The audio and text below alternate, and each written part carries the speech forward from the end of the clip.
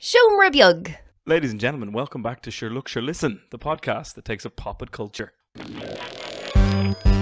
Sure Look, Sure Listen. Sure look, sure listen.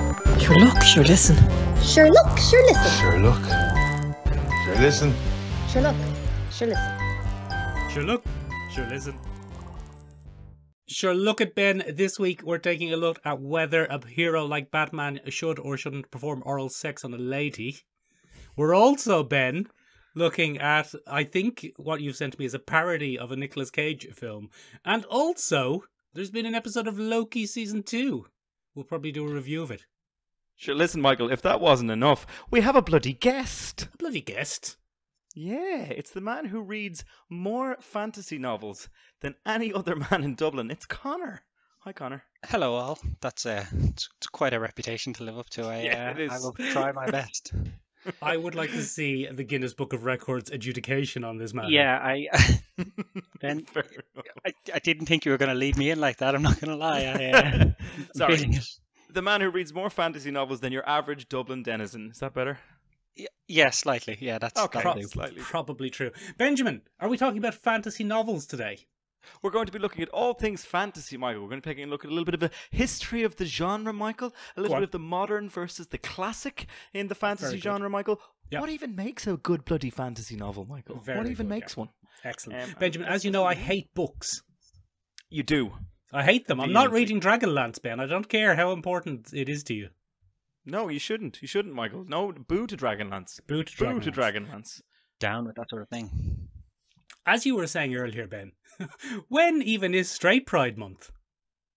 Uh, no, I was not saying that. I think you were. You were saying that earlier, weren't you? Absolute prick. I was not saying that I bloody in gotcha. any form. I got no, you, didn't. I got you. I got you win. good. I got you good, Ben. Benjamin, what? what's What your you want? take? What's your take on fictional characters providing oral sex? This is all. A, this is this is gas, Michael. This controversy around Batman and Catwoman because Fill, fill us in, Ben. so uh, Ben, we found Ben, out. Ben. one. Use the power of your mouth and tongue to fill us in. oh, boo, boo! Shame on you. We're going to handle this in a mature and responsible manner. Um, so uh, we found out in the, the middle of June the showrunners for the Harley Quinn animated series uh, from DC Comics uh, came out. They've been renewed for season three, much to the delight of uh, many a fan, uh, myself included. Quite enjoy that show.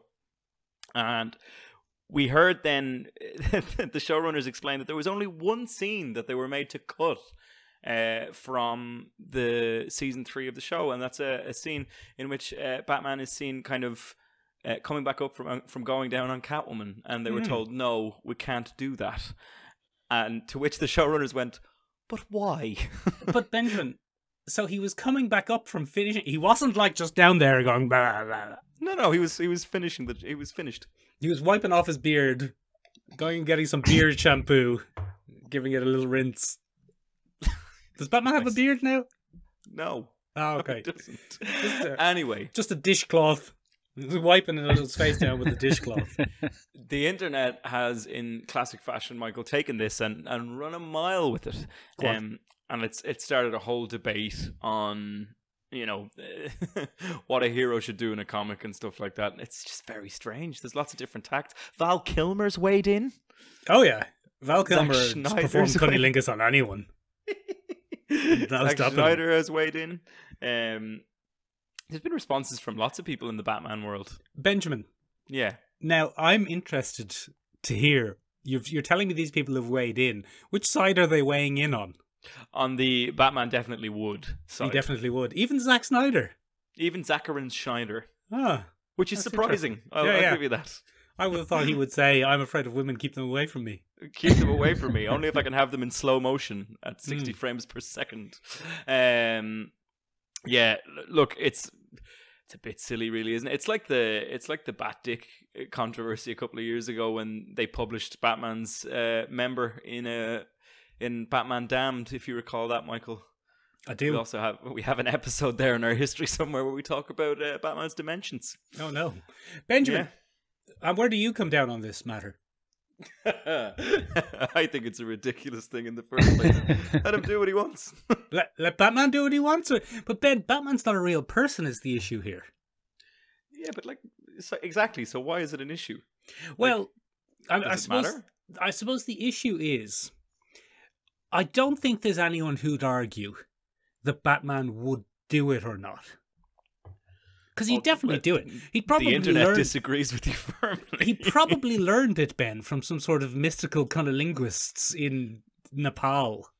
yes, because he had to. He had to, you know, master all forms. Michael. Yeah, he probably had to defeat Ra's al Ghul using only his tongue muscles. probably. He probably. So, yeah, that no, sense. there's there's little doubt, Ben, that he'd be a master at the old. Uh, but what I'm saying is, it's the fact that they're depicting it. It's whether it's depicted. I mean, for example, I'm sure Wonder Woman poops. Yes, but it's not in the TV show. Yeah, but they're not going to like cut away to Wonder Woman having a poop in the movie Probably not. because you know it's not. I I think the the I think the con. I actually understand the controversy a little bit, and I think the controversy is more about. It's not about whether they would do it if they were real people. It's whether or not it should be depicted. Yeah, uh, And I imagine it was in a humorous scene. Oh, but the the entire tone of the the Harley Quinn animated show is humorous. There's, So there's perhaps, no... the, like, I'm not defending that Batman wouldn't, because of course he would, Ben. He'd be amazing at it. But maybe they went, "Oh, look, lads, you're. I know you're doing a joke about Batman, but can we not do? do can we not do sex jokes about Batman? It's nothing sacred. There's nothing sacred. Is there? Is there not one thing that we could have? Were they going to be in the in the the costumes, Ben? That's what I'd be interested. That's to know. that's what I'd be interested to know. That's uh, what I'd be interested to see. Uh, what, No, Tom, no. Tom, Tom King has run into that controversy as well. Tom My friend Tom King. the- not your friend Tom King, the bloody DC scribe Tom King. oh, very good. Uh, he ran into that controversy as well because he's spent an inordinate amount of time building up the Bat and Cat relationship. Um, in his comics, it's an obsession. They have a, a their own miniseries at the minute called Batman Catwoman. Um, and he got into a lot of trouble um, in a scene where a Batman says, "Keep the costumes on," um, Mm, and they do it on a rooftop. So it's it's all a bit silly. because It's Benjamin, that was silly. that was famously the only way that Nite Owl could get a, a manner. Uh, what's it called? A man reaction. a man reaction. Yeah, is that what it's called? Stolen that that the from scientific term. Yes. Um, Remember in in the film and the comic book Watchmen, Ben Nightwing was a very flaccid boy until they by kept the Zachary costume- Schneider. by Zachary Snyder, but also Alan Moore, and there's nothing wrong with him. He's never put No. anything weird in a comic, so maybe that's what we're getting at. Maybe. Sure. Look, I I think the internet's just blown it massively out of proportion. I think it, if it's if it's a matter of depiction and whether or not it fits the show tonally, I I think it probably spares the show from drifting fully into maybe Family Guy territory or something like that. Um, but I don't know. It's it's a it's a big debate. In terms of depiction, it's a reasonable request. In terms of the debate that it's caused on the internet, it's just a bit silly. Uh, very Um, good, Ben. Very good. I would really enjoy seeing the um I know it's a series, but I would really enjoy in comic form seeing the speech bubble they put above Batman whenever he's coming up from his uh, his act and what sequence of letters they eventually put together to describe what he's just done. But especially with Catwoman. Yeah. Especially, my mind is racing, Ben. Not only with imagery, but also with Aw, puns. there's there's two of you on my podcast now. This is terrible. Um, the mind goes, Ben. I'm just gonna, I'm just gonna interrupt you there, Ben. Two of us on whose podcast? Sorry, on my podcast, Michael. What was that? My podcast when you're being crude and vile. what was that Um, now? Benjamin, look. Anyway, Yes. doesn't matter. It's all irrelevant. What really matters is you've sent me and Conor a bloody thing, and we've watched it, Ben. And I still don't believe it's real. it's real. it's coming. Um. So, uh, Michael. Ben.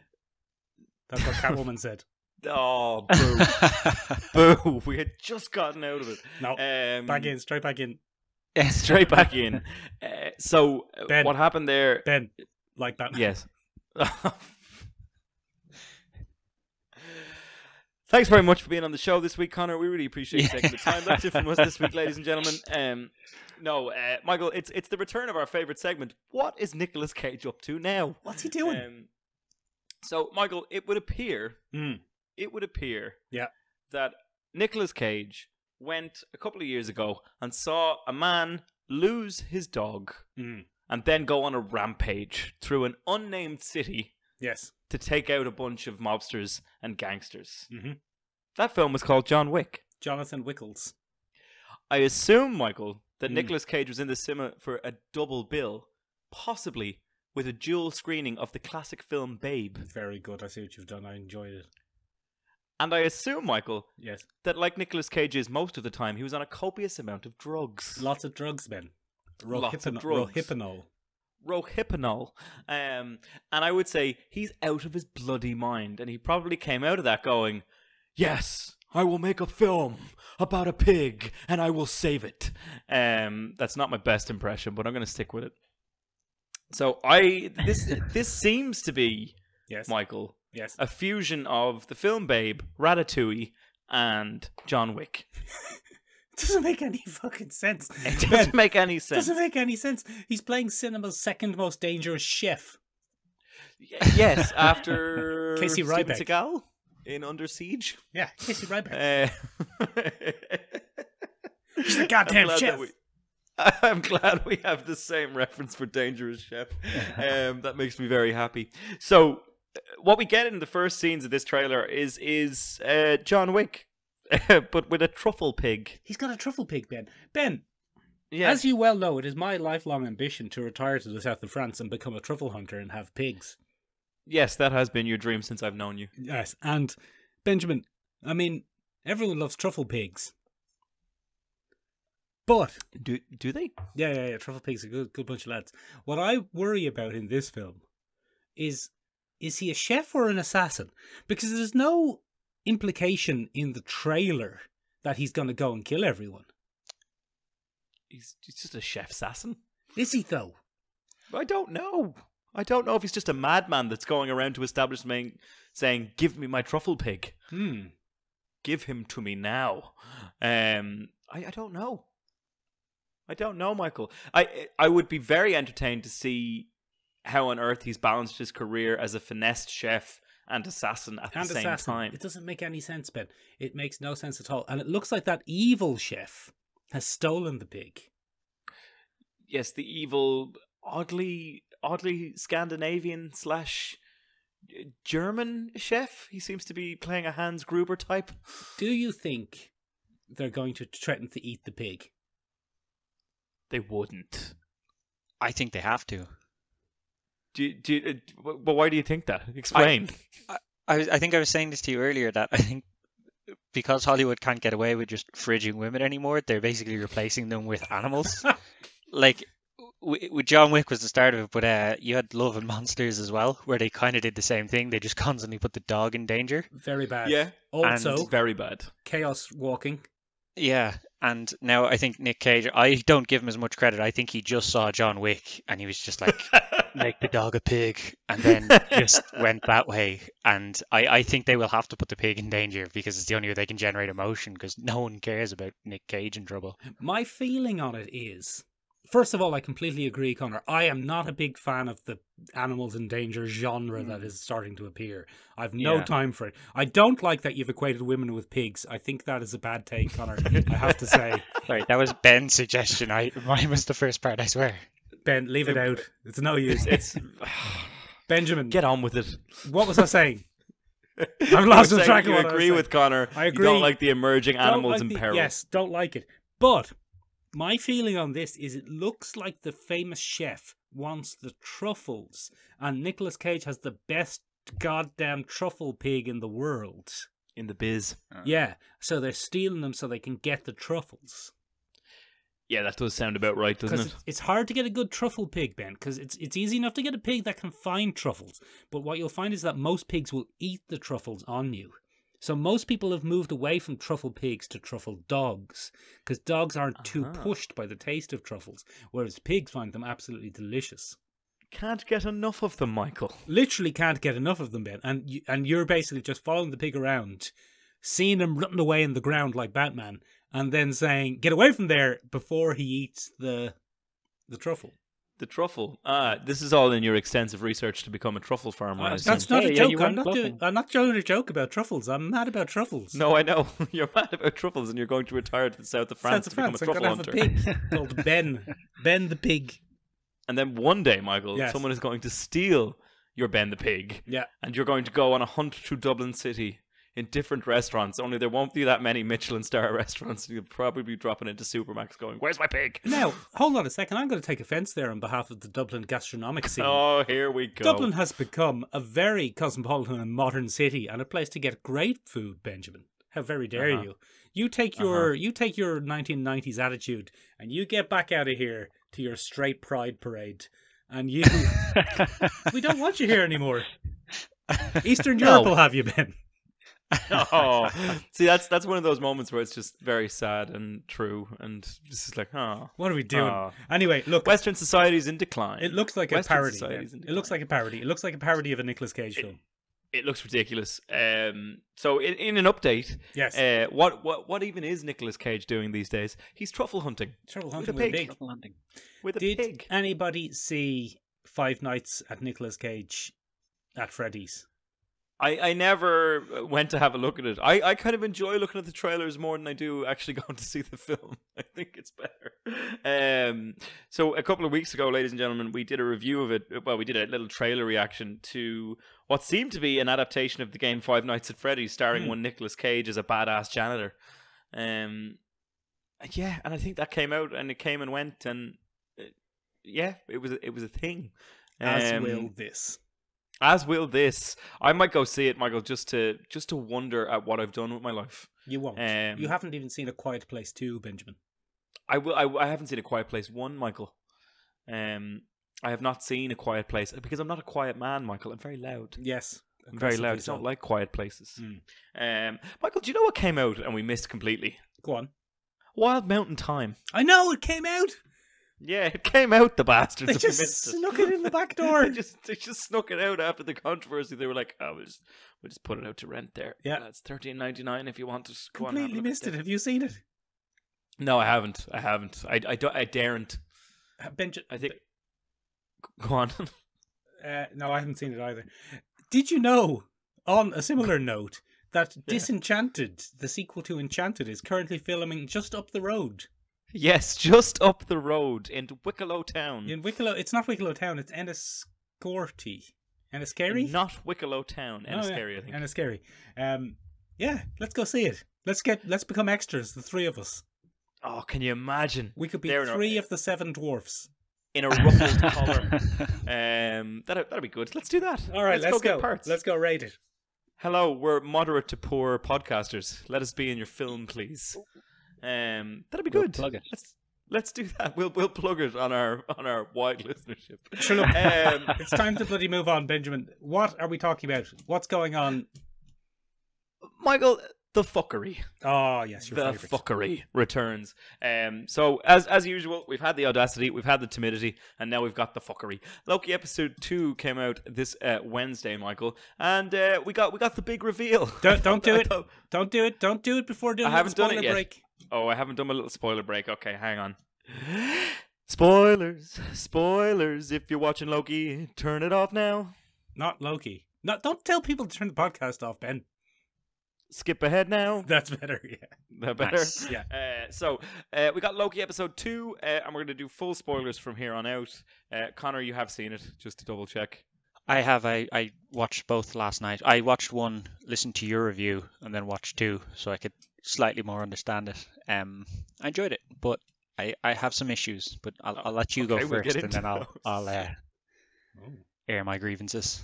So this uh, this saw Loki uh, fully adapting to his "Catch Me If You Can" persona, Hmm. um, where he plays Leonardo DiCaprio in a big inter interdimensional time agency, um, and we get a little bit of the the classic Loki. He tries to pull a, a classic Loki jape and trick them all into doing silly things. And does it work, Michael? No. Owen Wilson's like, cut it out, He's too clever? Or give he? it out. Owen Wilson's too clever. Hmm. Such a clever man. Benjamin, I felt they should have called it Loki episode two. Loki's got a job.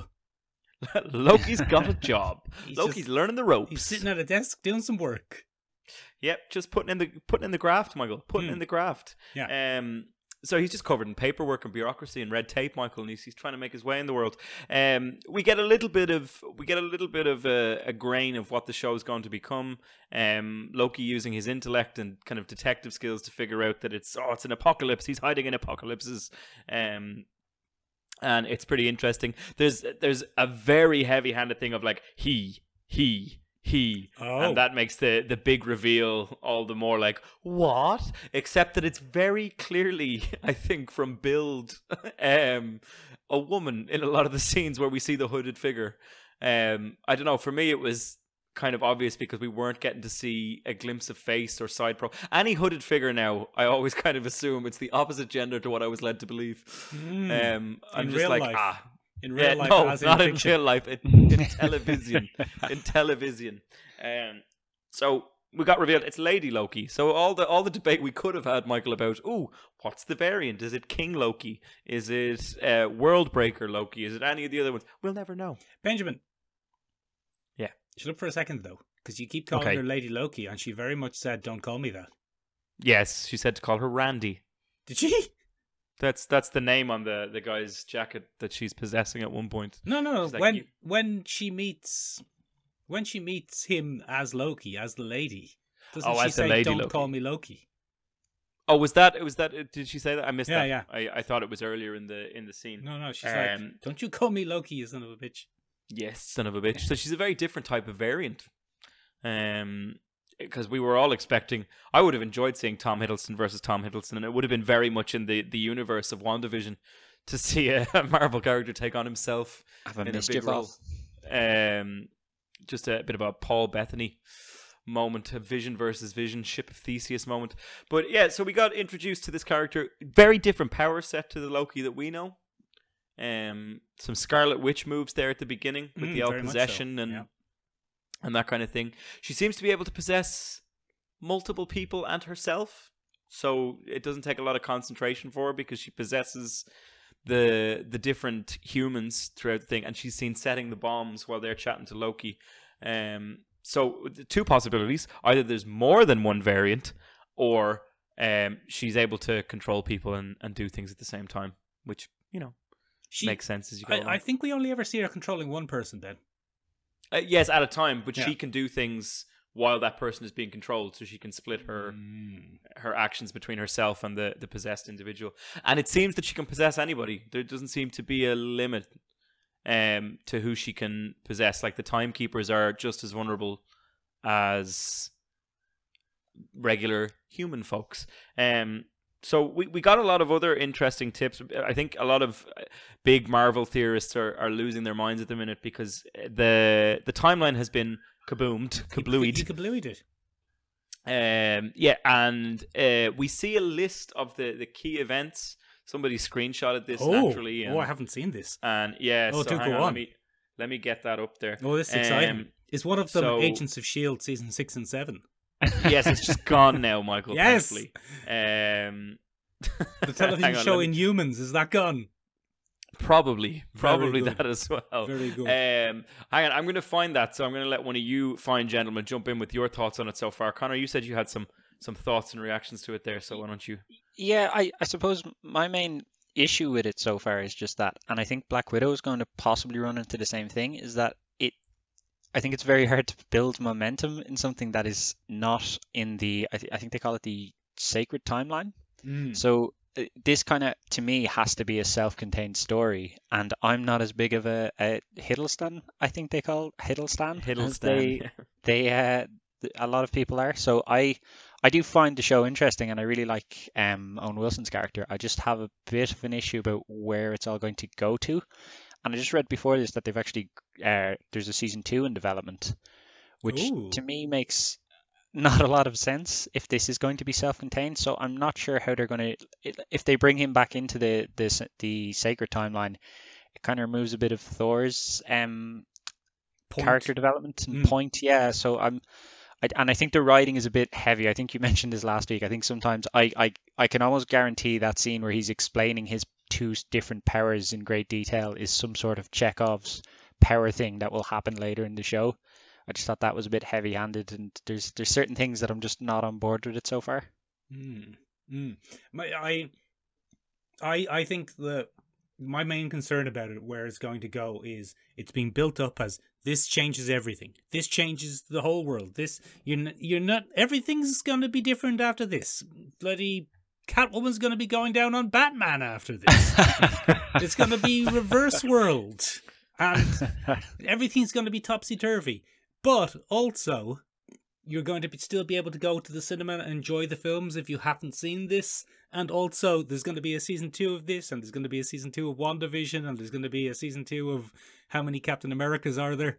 So, how can it change everything, but also Yeah. re-establish the status quo? And that's the same when any kind of long form, and we might get to this later, when any long form media decides to do something world changing uh, especially in the in the genre of shared universes and comics. Anytime you do something world changing, you have to undo it. I mean, the real Brave Balls move would have been to not bring back the people who died in Infinity War. I mean, I think that would have been genius. That would have been insane. That would have changed everything. Yeah, it would have been. So th- this is this is an interesting debate that we have. I have that list here, but since we're we're on this, it's pretty interesting. There's a lot of debate on on what the TVA means for the future of Marvel. Uh, Conor, as you pointed out, it's very difficult to see how this moves out of its own weird little Mm. bubble narrative. Do you know what I mean? But we've we've argued. Owen Wilson has a little chat with uh, Loki at one point, and he explains why he does what he does, and he goes order, uh, and that might seem boring to you, but you know, at the end of the day, we get up and we walk away and we hang up our jackets, and it's it's done. You know, we have order in the universe. The there's no multiverse because of the sacred timeline. Yeah, Right. yeah, yeah, yeah. Except Agents So of Shield season seven. Shh, it's gone. It's a variant. It's been wiped from existence. Hey, they, they they didn't take a they didn't take a ticket. Um, so the theory is now looking at the multiverse of madness, which is coming up with, uh, and we know Wanda is going to be in that from WandaVision. There's a theory because Wanda is known as the the the Chaos Witch Mm. or the what was her name? Yeah, yeah, yeah. The, Okay, the yeah, yeah. Scarlet Witch, bringer Yeah. of chaos. She is the TVA's worst nightmare, and this is the current running theory on the internet. She's the TVA's like worst nightmare because she can create from nothing. Um, so theoretically, she can cause splits on the timeline. Uh, the retrieval of her children could be um a huge branch off the timeline that they can't erase because they can't stop uh, Wanda, and that will lead to multiverse theory. And Loki, uh, Lady Loki, for lack of a better term, is going to bring back the multiverse herself, and it's going to be a whole thing in Multiverse of Madness. Fucking bollocks, Ben. Okay, go Absolute on. Me why. bollocks. What's going to me why. happen is at the end of this series, we're going to find out that the TVA isn't as big and all important as it seemed, and that the timekeepers weren't as all powerful or just didn't even flat out exist, and the whole thing is going to be not that important. Okay, fair enough. Well, we'll we'll we'll wait and see on that one. We'll Very- see, Benjamin. Very quickly to run through the locations on the list that Yes, have been please do. affected by the Kablooey moment. Uh, Agents of Niflheim. Agents of um, S.H.I.E.L.D. season 7. Yes, that's gone now. Uh, Niflheim is targeted in the past. Nowhere is targeted in the past. Uh, Vormir is targeted in the past. Oh. So, are we going to get Black Widow back in the Marvel Benjamin. universe because of a variant? Benjamin, Um, yes. shut up for a second. Go on now. Are they all places where the Infinity Stones were? Uh, they seem to be places where Infinity Stones were. So was Loki stopping Captain America then? It's a great question. I don't know. Mm, we don't, we don't, Ben. I bet you it turns Are, out. are we going to get that big a Steve deal. Rogers through the timeline, battling No, Loki over no, and over? No, Ben. Stop Yes, we setting are. us It's up for disappointment. Uh, yes, we are. And then Mephisto's going to step in. It's going to Oh. kick everything off. Um, What's his name with the bendy arms? um, uh, Reed Richards. Reed Richards. He'll be there. He's Okay. the aerospace engineer. And Got to recycle that WandaVision Yeah. content. Okay. get it all in. Get everything in. Um, but they have dates next to each one, Michael. So um, it's Niflheim, and that was without a date. Nowhere was without a date. Unfortunately, Vormir was uh, with the date of 2301. Uh, so it's way beyond when Scarlet Witch and um, Black Widow were there. Or not Scarlet Witch, then Gamora. Scarlett Johansson. You're thinking of Scarlett Scarlett Johansson. Johansson. Yes, I'm mixing up my Scarlets. Yeah. Um, Asgard is 2004. Um, so that's long before any of the events of the Thor films. Um, Sakaar is 1984. Mm. Um, Ego is also visited, Mm. um, and that's in 1832 uh, when that happens. One of the really interesting things is Titan um, is mentioned. So Titan is where Thanos is from, Mhm. um, and that's 1982. Um, That's when I'm from.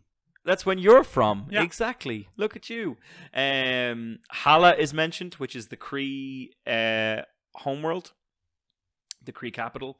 Uh, Xandar is mentioned, which we saw in Guardians of the Galaxy. That's in 1001. No. Um, Jotunheim, where Loki is from, is mentioned as well. It doesn't get a date. And then there's a whole load of Earth locations. So there's Rome in 1390, Lisbon in 1492, uh, Phong Nha in Vietnam in 1522, Barcelona in 1540, uh, Thornton, USA in 1551, and so on and so forth. So there's lots of different events. So if I had hours, Michael, I'd sit down there and see what, what mattered in any of those moments, but I don't. Yes, Mick. Ben, there was no. Thornton, USA in 1592. Well, I don't know what to tell you. What does that even mean?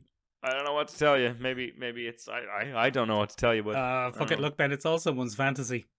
Sure, look at you. Fuck it. What, what are you gonna do? What are you gonna do? It's all someone's fantasy, Michael. It's funny. You should mention that. Um, very well done there. My, very smooth, smooth as butter. Uh, ladies and gentlemen, ladies Yes. and gentlemen, I'm not reading Dragonlance. I'm not gonna do it. I'm not it. reading it. I'm not reading it. I don't even know what it is. I don't even know what it is.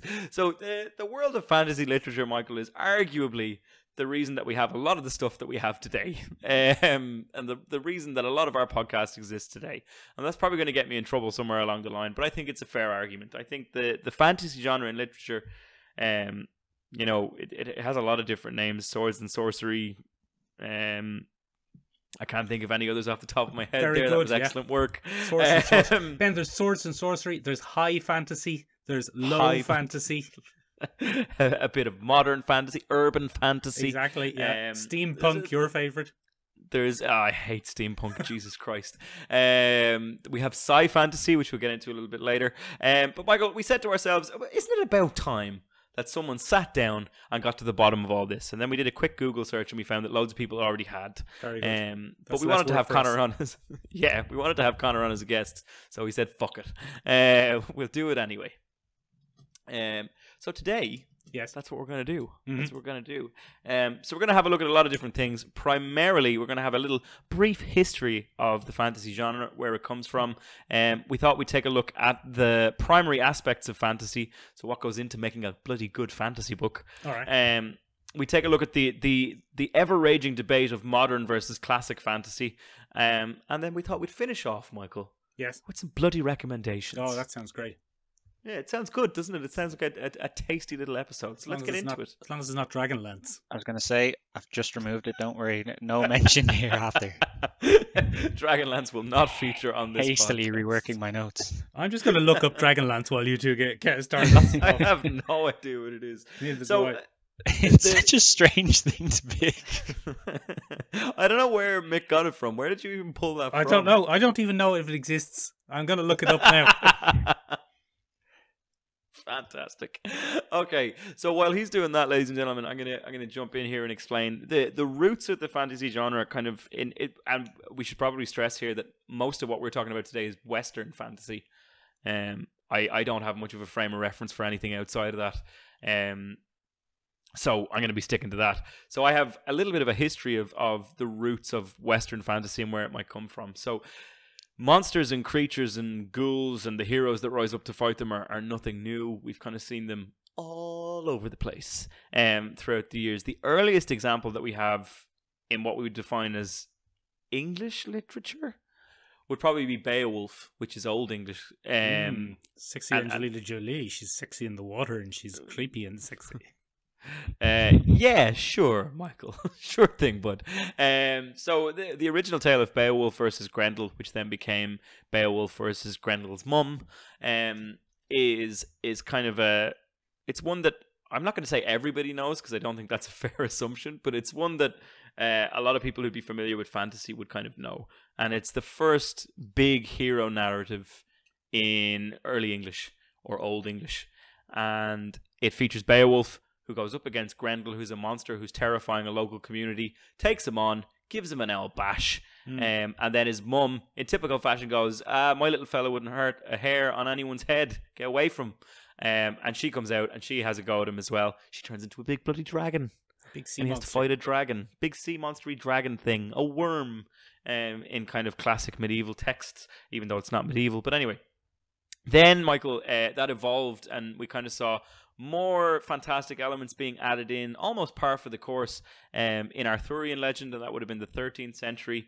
Um, that's where the swords element comes in, sorcery. We had Merlin. Um, again, we had strange creatures. The Green Knight is one of the most fantastical kind of elements of Arthurian legend. We're going to see that turned into a film by A24 very soon, starring Dev Patel, Michael. It's Very it's exciting. on its way out. I can't wait to see it. I think it's going to be really good. Um, and then Michael, wh- where entire kind of sorry, Michael and Connor. Sorry, I'm so used to just drumming into to Mick. Um, but Excuse me? where we uh, sorry. What was that? I kind of drifted off there, but what did you just say? that's my Very mistake. suggestive choice of words. That's that's my mistake. Um, it's all that talk at the start of the podcast, Michael. I'm sorry.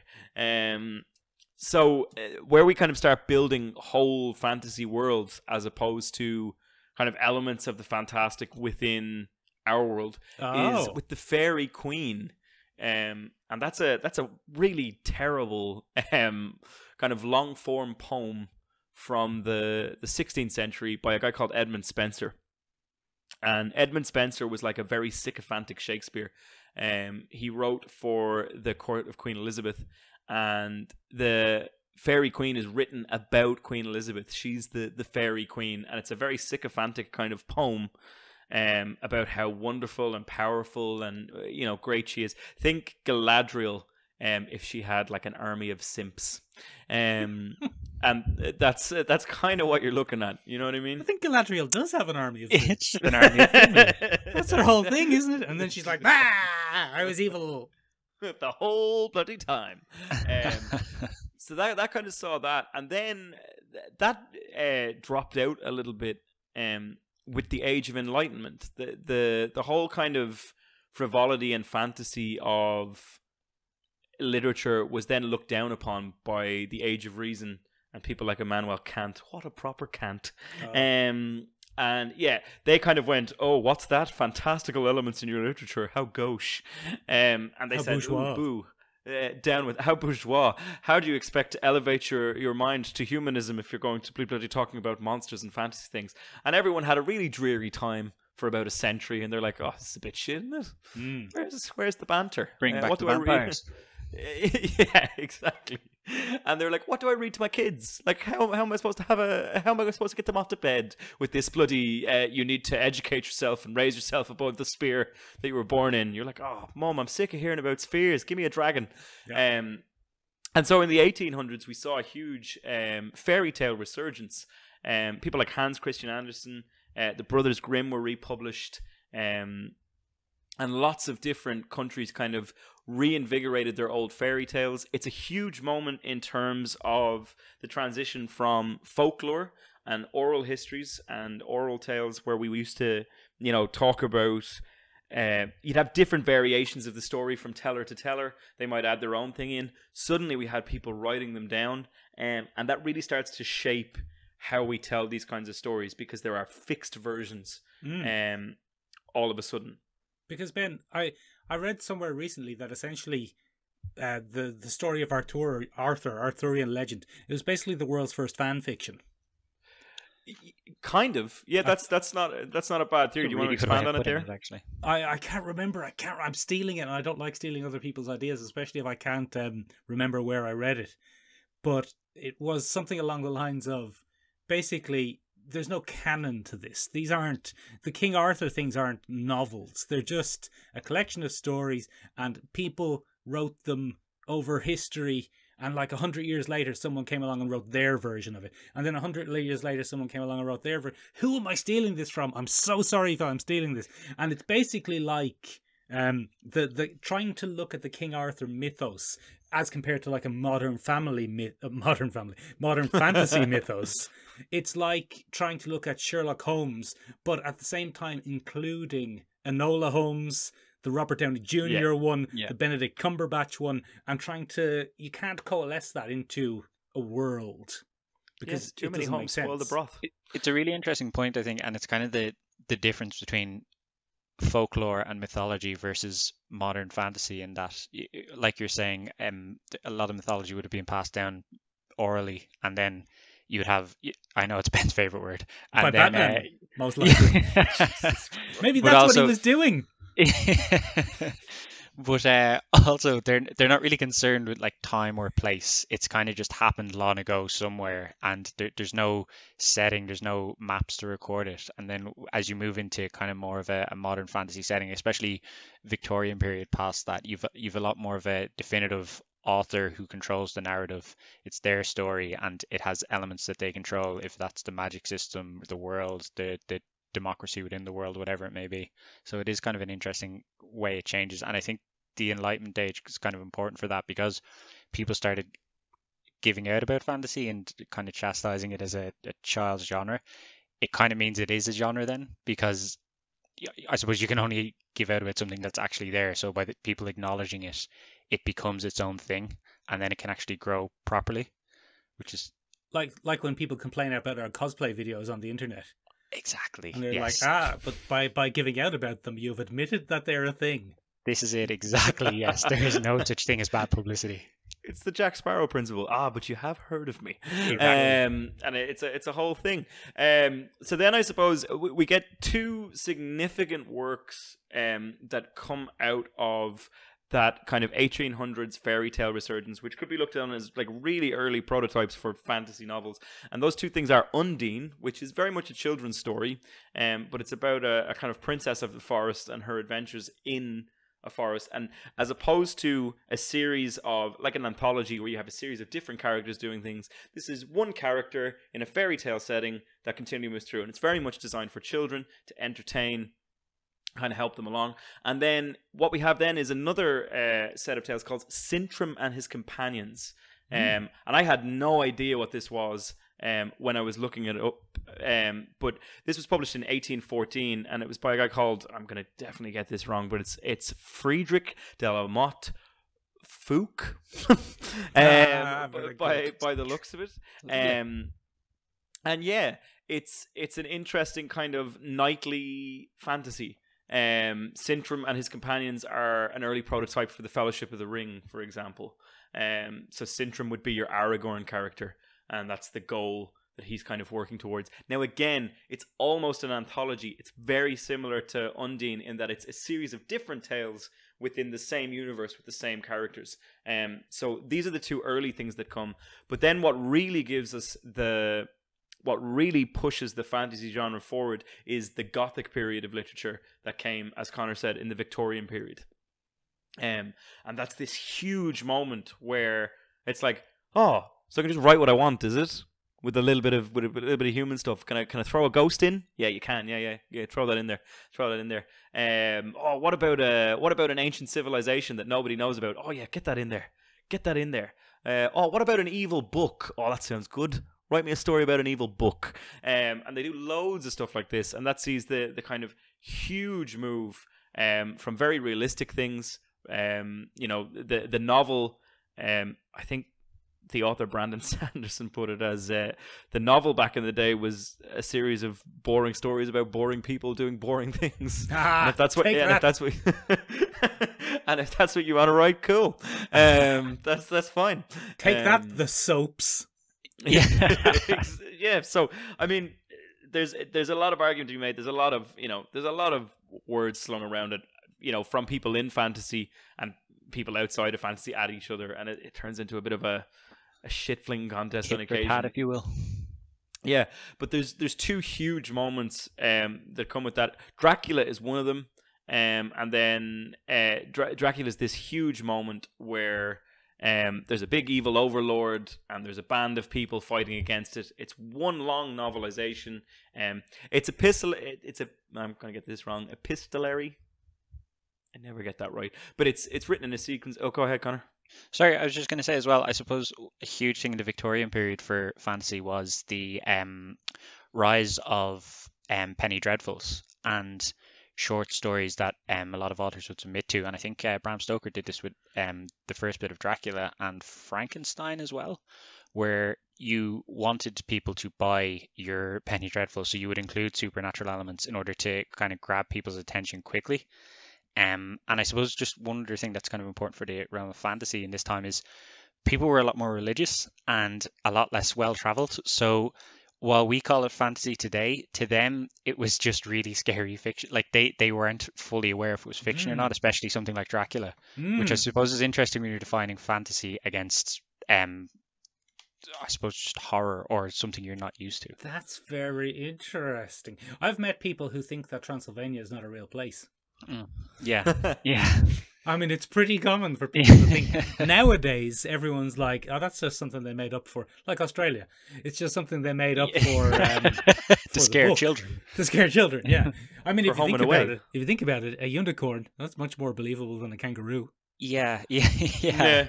Yeah. Um, I suppose it's one of the things that takes place in a lot of those fantasy novels is um, you would have had a huge push in England and um, Western Europe uh, publishing fantasy stuff, but it would always be set in Transylvania, Eastern Europe, or um, Frankenstein, for example, takes place in the Antarctic at one page or at one place Yeah. in time. So it's it would always be kind of a key part of um, fantasy literature at that time was to set it in a place that people wouldn't be familiar with, so anything could kind of go and it could be determined as realistic or not.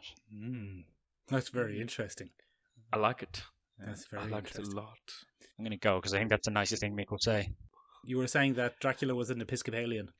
Uh, yeah, so uh, pescatarian, pescatarian. Yes, he's a um, completely misunderstood in Victorian society. Um, so Dracula was a pescatarian, um, and he was really confused when people kept running away from him and throwing crosses at him. Um, it's just like I just want fish.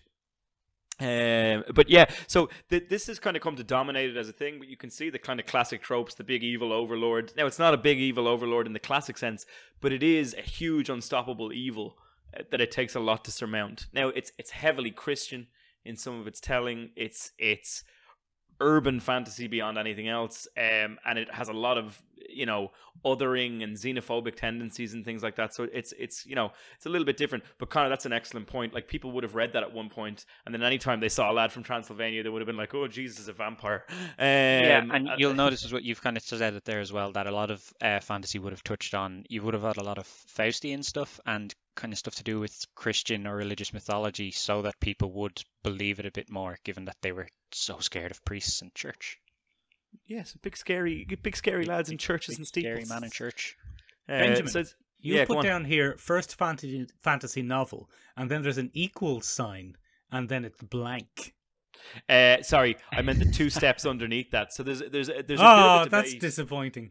Uh, yeah, sorry. so there's a bit of a debate about that, um, and one of the one of the things that we run into when we uh, look for the the first fantasy novel, and it's fairly unfair to do this. It's fairly it's a fairly dodgy practice to define any movement in literature as this is the moment, this is the time. Yeah. it's it's a fairly dodgy practice and it gets you into all kinds of trouble because you're you're discounting some people and you're you're elevating other people unfairly and it's a whole thing. But in terms of the first run through so not like undine not like sintram where you have a bunch of different tales in one collection this is one story in a completely separate world to our own Okay, one story in a completely separate world to our own that's almost entirely made up, and there are two frontrunners for that. So the one that gets uh, quoted quite often is called "The World Beyond the," uh, sorry, "The Wood Beyond the World," um, by a guy called William Morris, and that was published in 1894.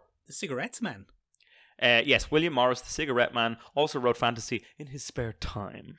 Um, no, he didn't. How ridiculous. Um, no, it's not him. It's a different guy.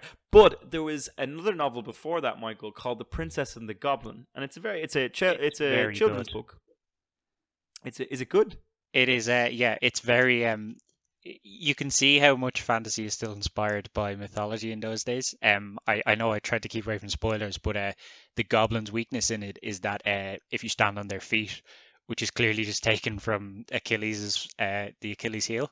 Um, nice. there- so there's it's it's really fun to kind of read. It's probably the first. I think it's considered the first fantasy novel because you can start to trace a clear line from how fantasy has grown from there. But I suppose people are going to at me for that. So Well, uh, say no d- more. d- trace some of that line for us, Connor. I'd like to hear some of that line being traced. So you've a lot of the things, as Ben was kind of saying there. It, it's kind of considered the first fantasy novel to be written for adults. I know it sounds very childish, but at the time it would have been considered for adults. And uh, you've a lot of more, um, you've a lot of the kind of um tropes that would take place in fantasy moving forward for about hundred years. So you had a created world. Um, you had the female in distress, unfortunately, which was slightly overused for a long time. Should have you just had- replaced her with a pig. Yeah, you had the the farm boy turned uh, hero, which would later become the chosen one trope a lot. Um, you'd the kind of uncaring parents, which allows all this to take place and it for it to be slightly more pos- plausible. Um, so yeah, I, I kind of consider it if if you read it and you have read any sort of modern fantasy, you'll you'll notice the the line kind of tracing through it about how it could be considered the first fantasy novel. Well, you're in good company in that assumption, um, Connor, because um, C.S. Lewis, J.R. Tolkien all cite the, the writer of that book, a guy called uh, George George, MacDonald. Yeah, George MacDonald. They they cite him as the the big influence in their own work. Um, and the other thing that makes it really significant, um, you mentioned earlier that w- when you when you reference something, you kind of define it and give it a chance to to grow as a concept. He wrote a famous essay uh, a really famous essay among like hardcore fantasy fans, and I think it's called "Why Fantasy" or something like that. Yeah, Um, yeah, and he wrote that, and it, it's it, it's defining why this genre is necessary moving forward, why it deserves its own space um, in the literary world, and it's it's pretty. Have you read that as well, Connor? I haven't read it, but I do find it interesting. That's another, I suppose, true line he started is that, um, like to this day, George R. R. Martin, um, most fantasy authors have some sort of essay or justification about why their genre should be allowed to exist in the time they're writing.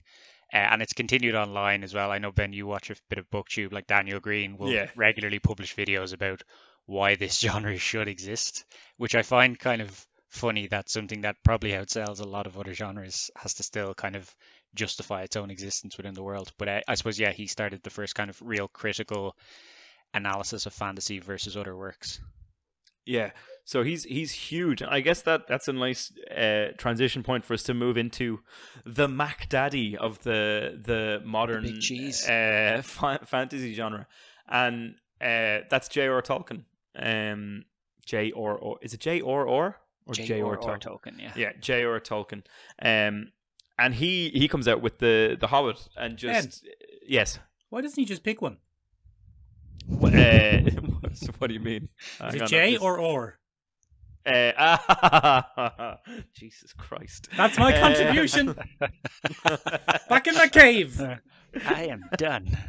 um, so he kind of, beyond anything that we've seen before, he is an exception to every publishing rule that went before. Um, J.R.R. Tolkien publishes The Hobbit, and I need to look up the date. Do you have the date, Connor, by any chance? The olden Um, days. The Hobbit was first published in September 21st, 1937. Uh, September 21st, uh, 1937, is that what you said? Yes. Ben, ben the listeners can hear Connor. Uh, sorry, no, I was, I, I'm sorry, I was have checking for to- myself. You don't have to relay it for them. They can actually hear. Sorry. It would be I quite was, uh, odd if he was just like Jamie in the back room. Jamie, can you pull up that date for me? Um, yeah, sorry, Connor. Um, so uh, that leads us into The Hobbit, and The Hobbit changes the perception of fantasy in terms of its wildfire success. Um, go ahead, Connor. No, I was just going to say, um, it's I find it really interesting as well that um, in the wake of World War One and the wake of World War Two, um, fantasy book sales kind of increase um, dramatically, and I think a lot of people attribute the success of The Hobbit and The Lord of the Rings later to that because I think escapism becomes a more of a, a, a key thing in times when uh, history is not kind to people. So it's I find it interesting that um I think The Hobbit and The Lord of the Rings kind of had this perfect storm of things going for it. They're obviously fantastic books within their own right, but um, like the runaway success that you get from them, I think you have to look at so many different things that to attribute it to. You were saying earlier, Connor, that one of the kind of modern, the the the things that define modern fantasy is world building, magic systems, maps. You know, Yeah. this is our world. These are the rules of our world, and this is what's going on in it. Now here come the stories. Yeah. And one of the big distinctions between The Hobbit and the first part of The Lord of the Rings and the rest of The Lord of the Rings is that changes. The. Hobbit and the first part of The Lord of the Rings are very much like here's a load of ideas. Let's just chuck them all out there and then kind of ignore some of them later because I think we went too far with that Tom Bombadil fella. So, and then the second part of Lord of the Rings seems to be about, and this is my fantasy world. What do you guys think of it? Yeah, so a lot of people don't know that um, J.R.R. Tolkien was trying to create English mythology essentially um, with the Lord of the Rings. Um, in his the f- kind of final vision for Lord of the Rings or for Middle Earth, Middle Earth turns into modern day Earth. It is the same as Asgard and uh, Jotunheim and or whatever the equivalent in Greek mythology would be. It's um, so he wanted to create the first English mythology. I think some people would argue maybe King Arthur is that, but um, he wanted to definitively write it down and have maps to support it and um appendices and uh, like the Lord of the Rings and the Hobbit are obviously his most famous works, but he has a whole library of stuff set in Middle Earth, expanding the worlds from the first age to the third age. I think the show coming up on Amazon is the second age, which he hasn't written too much about. So they're going to expand that, but that is so closely guarded by the Tolkien estate because it, it they he has set out such a definitive working of everything that it's it's almost impossible to slot something in without it affecting things down the road. Um, and when you think of the time he was doing this in in a an era when you know it's it's all essentially from his mind. It's it's it's crazy. There's so many languages um it's it really is just such a comprehensive work of of fiction. Um but you're right he he did kind of just expand so much beyond. The hobbit i think is kind of published as a children's story and then the lord of the rings is just what is this? You know it's it's it's it's crazy. Oh, I had a point. No, it's gone. It's gone. It's gone. I, I was Gone. too busy. I, I was too busy listening. Um, yeah, no, it's gone. Oh yeah, no. Here's what it was. Here's what it was. Isn't it interesting? Uh, two points based on what you've just said. Two points these days. These days, if you're writing a fantasy novel, and if you're just writing a fa- are you even writing a fantasy novel if you're not in fact primarily world building? Because like I don't read that many fantasy novels. I'm going to put my hands up. I'm a science fiction person, so fantasy isn't really my thing. But every fantasy novel someone has recommended to me, it's been half a story and half, and this is the world that the whole saga is going to take place in. And I'm like, oh god, yeah you- i suppose are you even writing a fantasy novel if you're not inventing the languages? it's a good a, a lot of Tolkien stands i'd say would say you are not um there's a really good video actually by daniel greene about uh, what if tolkien was like his worst fans and it's just him jumping down the throat of any future fantasy novelist um but I, I do get what you mean. I suppose you're touching on their high fantasy versus low fantasy. So high fantasy is set completely within its own world, um, Game of Thrones or Lord of the Rings, where it's a completely different planet almost. I um, you know, you've your own democracy, everything else that's set up in that world. Low fantasy is basically our world with magical elements put in. So uh, I suppose if I was to recommend, so if if you are having trouble getting into fantasy because they're all big tomes, I would recommend something that is low fantasy because it's slightly easier to get into the characters and the story of it without actually getting you know a load of exposition and info dumps about the world. I've never realized how much podcasting is a visual medium. You, I'm doing. I, I I'm reacting to the implication that I'm not able to read fantasy books because they're too big and there's too many words. well, and I'm shaking my fist at you. Ben, you I know all the easy on me. words. I did not say go easy. I said go easy in the first bit, and then That you is just get comfortable. No, I, I, I know what you mean. It is, a, but I mean, I can get tired of that as well. Um, it, it- there's nothing worse than a, a fantasy book that's written where someone goes up to a character and is like, "Hey, what's going on here?" And it's like someone has just pressed play on a tape recorder and they just dump a load of info into you, and you're like, "Oh God, like why, why is that there?" Um, for my money, one of the best built low fantasy worlds is the Dresden Files, which I've recommended to Ben because I think I've amalgamated the two of you into one person throughout Mm, the pandemic because I because I Men. But um, it starts off as just this very kind of low key kind of detective fiction book, and then like five books later, you're expanding into fairy uh, mythology. You've Norse mythology. You've vampires. You've um gods. It's it's and there's 17 books in the series. By the 17th book, you just realize how fleshed out he's and he's only he's not finished yet. You know, um, but they're quite short. Each book is probably less than 400 pages, and yeah, it's it's a really interesting, just low key masterclass in world building for me. And the audiobooks are read by Spike James Marsters, which is always always good to see. Oh, cool. No, I can't read though. That was I was serious about that. I'm not, I'm not too worried about for the your, audiobooks. he can get through them big words for you, you know. Yeah, yeah. Um, so in terms of like uh, that's that's a good recommendation in terms of people who want to jump in. I, I suppose my introduction to anything fantasy based or would have been low fantasy in the form of Neil Gaiman. yeah, Um, most like- people would be Harry Potter, which is low fantasy. Yeah, I, I guess Harry Potter's a huge part of it as well. Um, so people have jumped on there. Is there anything you'd recommend for like eh, people looking to make the the jump into into Mick can read big books territory or yeah, yeah, yeah. If if Michael's looking to take take the plunge, I would definitely. Um, this is a new dynamic, I have to say. yeah. We don't usually gang up on me. That's No, not no. usually how it works. um, yeah, for anyone looking to start off in high fantasy, I don't think you need to look further than Brandon Sanderson's Mistborn trilogy. Um, they're it's a very standalone trilogy, which is good. They're long, but not too long. I think they come in around seven, eight hundred pages.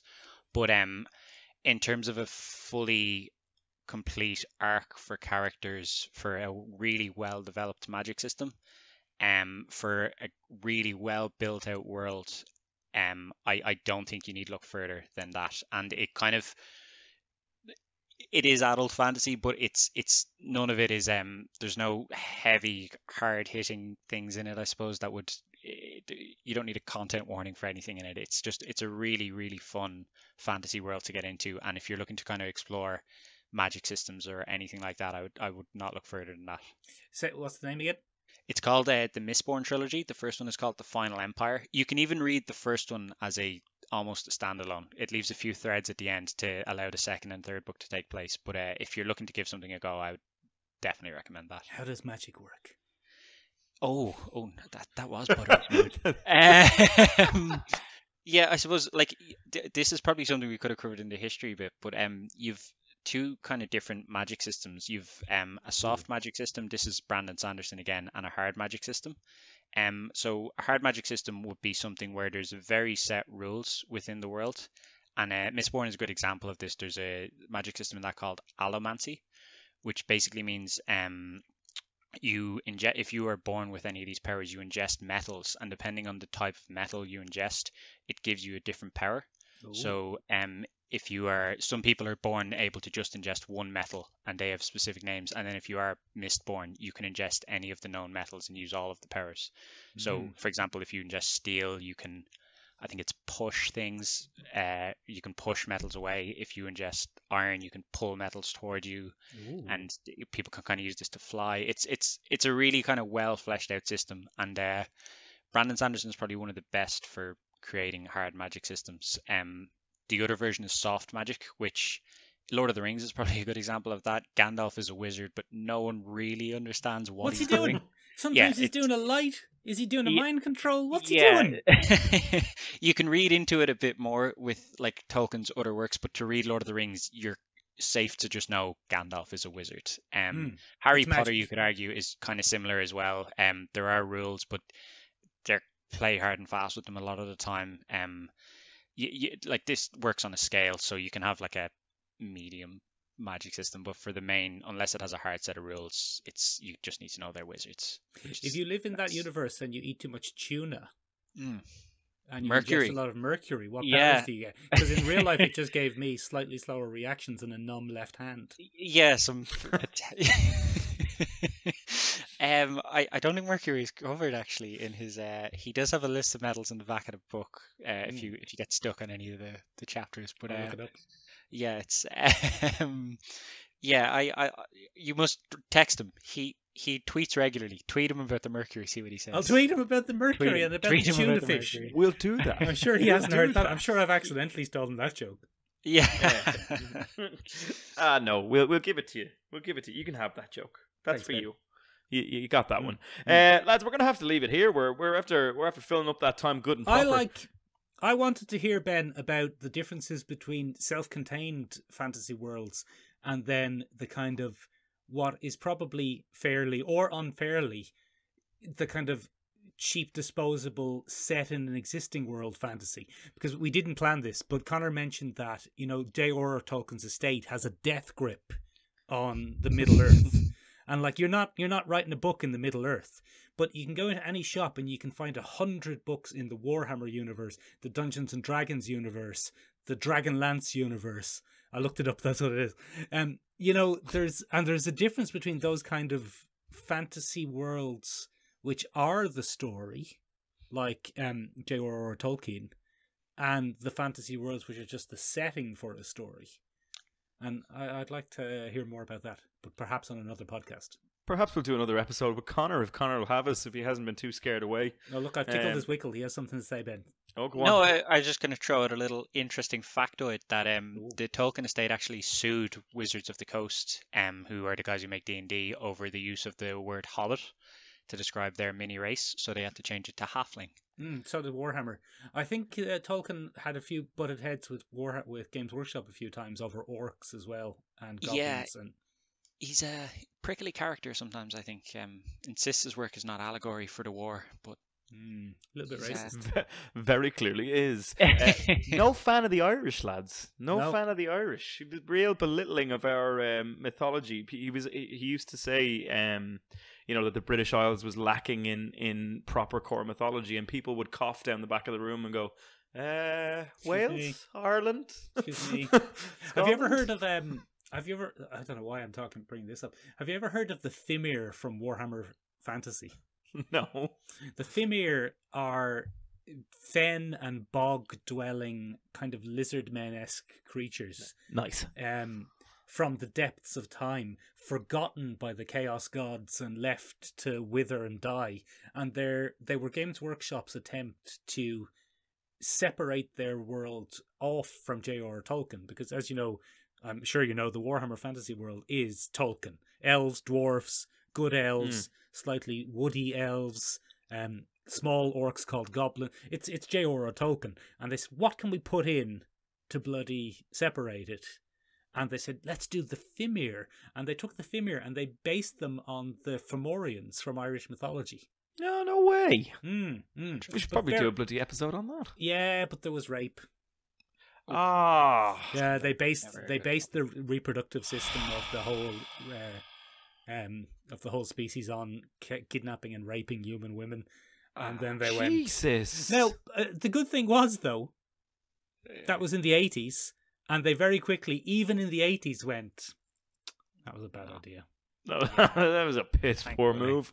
Yeah, um, let's uh let's just brush them under the carpet. But except for that unfortunate and that's a huge black mark obviously. But except for that, it's a great it was a really interesting concept about bringing Irish mythology in as a way to separate it from Tolkien. that's it's an good. I inter- like it.